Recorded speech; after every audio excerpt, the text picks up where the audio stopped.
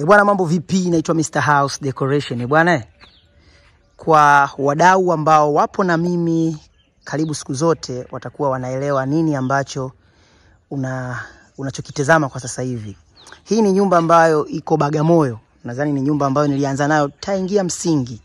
Tulianza msingi, yani nilikuta kiwanja kikiwa kama hivi, yani hakuna chochote, lakini leo hii tuna nyumba ambayo imesimama, tumeshaweza kufanya mambo mbalimbali mbali.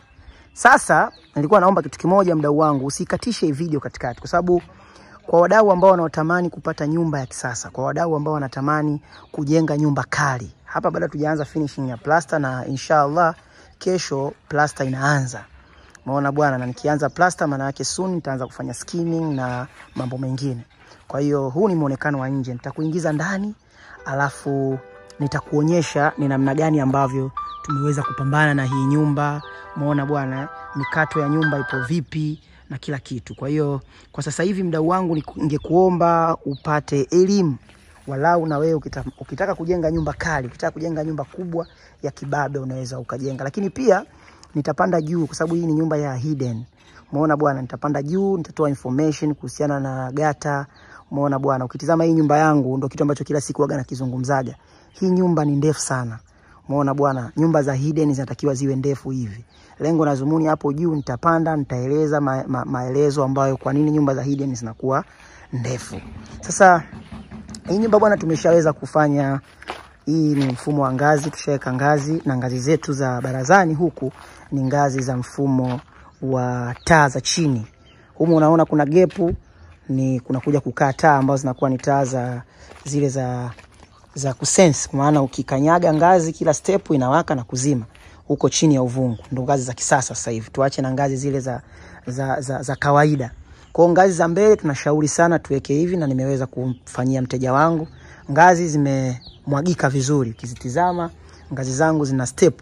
Step ya kwanza ni ndogo, step inayofuata kubwa, inayofuata kubwa kidogo, inayofuata kubwa na ya chini inakuwa kubwa zaidi. Kwa ukiangalia arrangement ya ngazi zetu hizi, umeona zilivyokuwa lakini pia nimeweza kufanya installation ya grill ambayo kama unavyoona grill yangu hiyo hapo. Hizi grill zote zimetoka ofisini, nadhani nilivyokuwa na anza mpaka namaliza niliwaonyesha kwamba ni grill ambazo zinakuja Bagamoyo.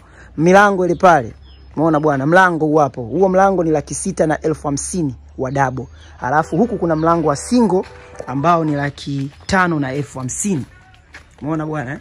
Huku kuna mlango wa single huu hapo ambao ni mlango wa one ambao ni laki tano ni laki tano na elfu hamsini.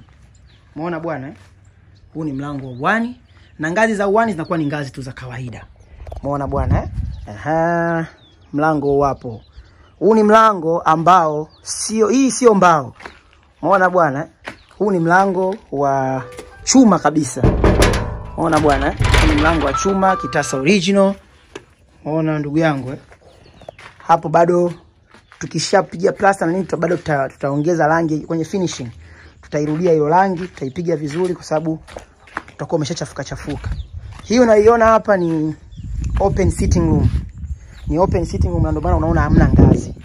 Ni kibaraza of course, lakini ni kibaraza fulani ambacho hakina ngazi, ambapo plani yetu ni kwamba huku utakaa balcony, zile bomba za chrome hapo unaweka unaweza ukaweka sofa ukafanya chochote, na ndio maana unaona kule kuna switch. Umeona bwana, kuna cable ile pale. Lengo na zumuni hapa ni sehemu ya open sitting room. Umechoka kukaa ndani, umechoka kupigwa na AC, umechoka kupigwa na fan, unakuja kubalizi upepo wako hapa, na ndio maana kuna mlango. Kwa hiyo nyumba ina milango mitatu. Ule ni mlango wa uani, huu ni mlango wa barazani, na wapo mkubwa ni mlango wa barazani, lakini hii inatoka moja kwa moja kwenye open sitting room. Kwa hiyo ni sehemu ambayo mdau wangu hapa anaweza akawa anajidai vizuri tu. Unaona bwana, akiweka furniture yake hapo ya maana, anapata juice, anaperuzi peruzi mambo mbalimbali. Sasa nataka nikuingize ndani ili uweze kuelewa mikato ya hii nyumba. Huu ndio mlango wetu wa dabo, unakuwa na dabo, mlango mmoja mdogo, mlango mmoja mkubwa, ambao huu ndio utakaokuwa unatumika all the time. Huu utakuwa unatumika kwa emergency, kama labda kuna sofa, kuna nini. Umeona bwana, afu hapa kuna venti moja kubwa sana ambayo ana choice mwenyewe ya kufanya kioo, ya kuweka kioo, chochote kile anachokitaka yeye. Sasa ukiwa unaingia, unaona bwana, hii ndio sitting room yetu. Hii ndio sitting room yetu ambayo kwa sasa hivi nimeshaweza kufanya installation ya umeme. Installation ya umeme tayari ishafanyika kama ambavyo unavyoona, bomba za umeme zote tayari, ukuta TV ule pale, ile ndo showcase yangu yapo, umeona bwana eh? Aha, mfumo wa umeme ule pale pale, kuna mfumo wa kila kitu, umeona antena, sijui nini nini, kila kitu, umeona bwana eh? Aha, kebo za kutosha, sitting room kuna kebo za kutosha, kuna kebo za kutosha, dirisha kubwa hilo hapo kama ambavyo unavyoliona, sitting room kubwa ya maana, mfumo wa AC ule pale Unaona mdau wangu. Alafu sasa hapa kuna open door na hapa kuna open door ambao nikianza na huku, hii ni dining. Hii ni dining yetu. Hii hapo ni open kitchen. Kwa ni dining alafu na jiko. Alafu hapa kuna mlango wa kutokea tunaenda kwenye ile open sitting room yetu. Ule pale ndo ule mlango ambao unatoka unaenda kwenye baraza ya uani. Unaona bwana?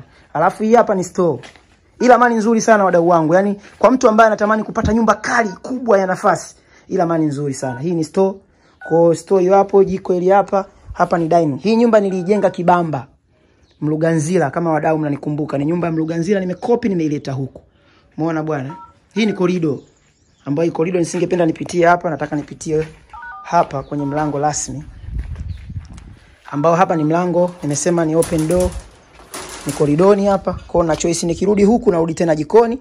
Nikirudi kwa hapa hivi. Umeona hapa? Hapa kuna hiki chumba hiki chumba, hii ni laundry, ni sehemu ya kufulia. Umeona bwana, umeona hii ni laundry, alafu hii hii ni public toilet.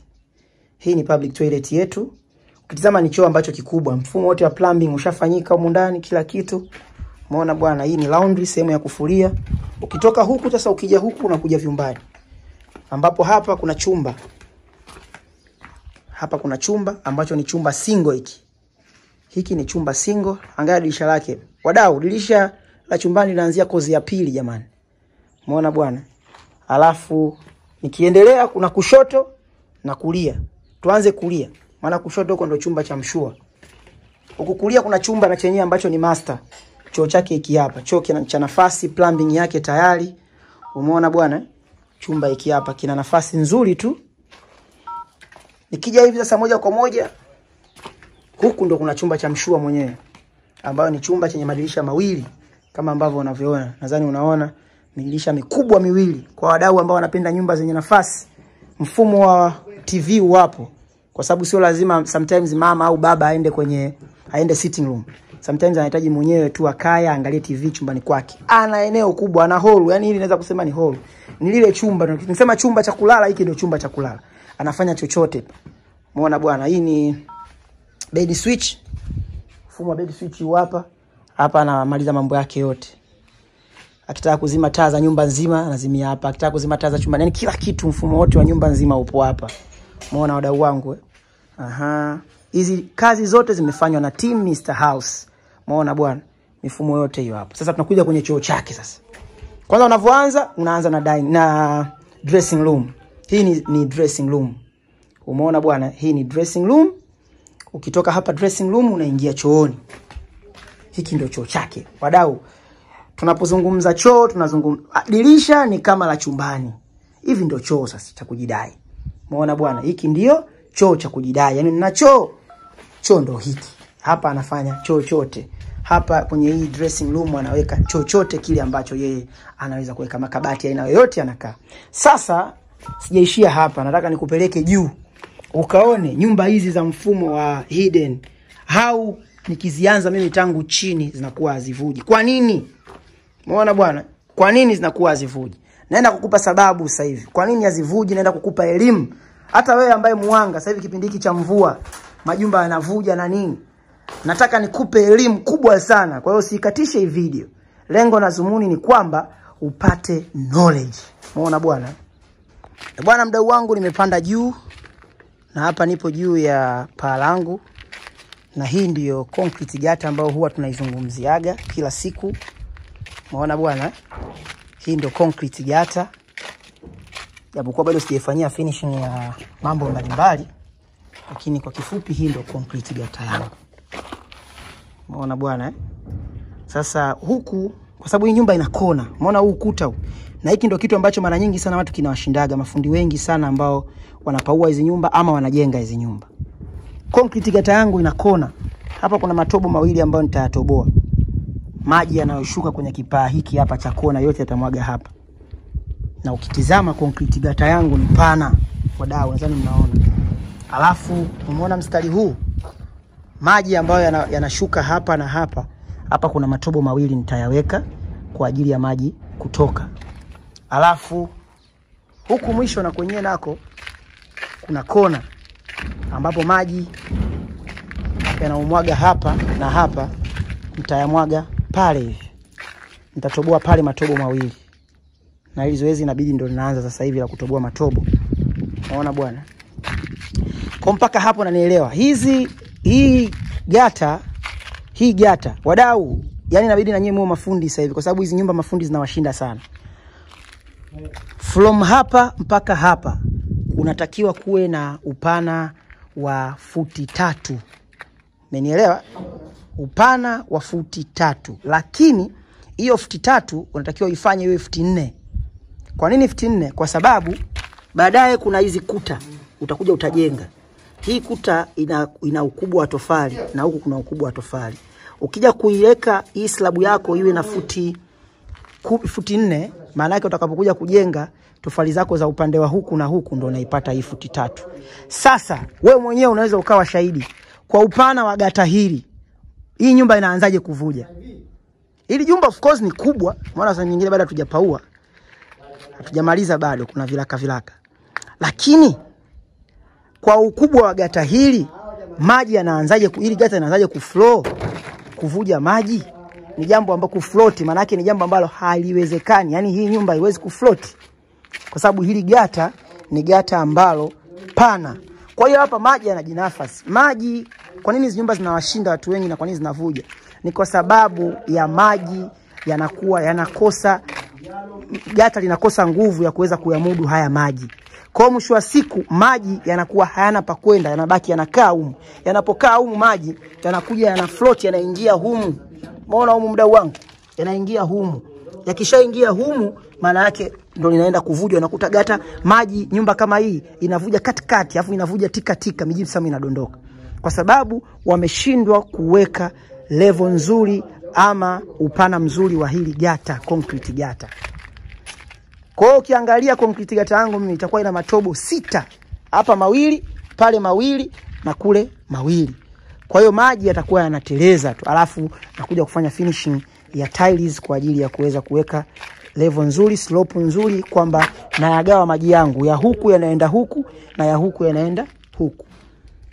Wadau, elimu ya bure kabisa nimewapa haulipii hata shilingi. Kwa fundi, kabla hujaanza kufanya chochote kwenye site yako, hajaanza kufanya chochote, make sure unamuonesha una, una, una hii video walau aweze kupata elimu. Lakini kitu chengine ni kwamba umeona hii bati langu, hizi nyumba zinawashinda watu pia kwenye swala zima la slope ya bati na ndio maana nasema kila siku hizi nyumba zinatakiwa ziwe ndefu ili uipate hii slope. Unakuta unaenda kwenye nyumba hauipati slope kama hii, slope inakuwa ndogo. Slope ikishakuwa ndogo, maji yanakaa kwenye bati, bati litaoza. Mwisho wa siku, bati likishaoza, maji yataingia ndani.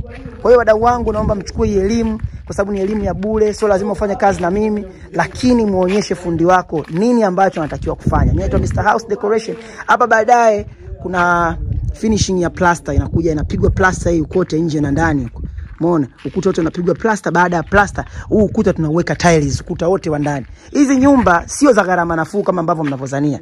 Likiwa kubwa hivi, lina prosesi zake, lina maandalizi yake. Ukisema uingie kwenye huu ujenzi kwa sababu ya kusema eti ni nyumba ya gharama nafuu, mdau wangu, usisubutu, utapata hasara. Narudia tena, hizi nyumba sio za kukimbia gharama, ni nyumba ambazo zina gharama, kwa sababu ukisema ukimbie gharama na nikupe hope kwamba eti hazina gharama, utafeli. Kwa mfano kama hiyo, kuna plaster humu, kuna tiles zitakuja juu hapo, kuna sheet cover, imagine. Kwa vitu kama hizo, mdau wangu, mimi ni kuombe ukiingia kwenye ujenzi wa hidden usije ukawaza kwamba kuna gharama. Gharama utazookoa ni kwenye bati, kwa sababu bati zake zinaingia chache, lakini pia kuna mambo mbalimbali mbali ambayo utatakiwa uyaongeze, ambayo ungejenga nyumba ya kawaida yasinge kuwemo. Kwa hiyo jenga hizi nyumba kwa sababu tu ya mapenzi na kwa sababu hizi nyumba ni kali. Hii nyumba ikiisha, finishing yake ni balaa. Eka nyumba yako ya aina yoyote ya, pa, ya para kuonekana, hii nyumba bado itaonekana ni nzuri. Umeona bwana? Kwa hiyo niwaombe wadau wangu, namba zangu za simu ndo hizo hapo, ukinihitaji sehemu yoyote. Na mwakani tarehe moja mwezi wa kwanza tunaanza kutoka mikoani. Kwa hiyo kwa wadau wa mikoani, unaweza ukapiga namba hizo hapo, unaweza ukanicheki WhatsApp, unaweza unaweza ukatembelea ofisini kwetu Mbezi kwa Msuguri kwa ajili ya mawasiliano zaidi. Mimi Mr House Decoration. Don't forget to subscribe.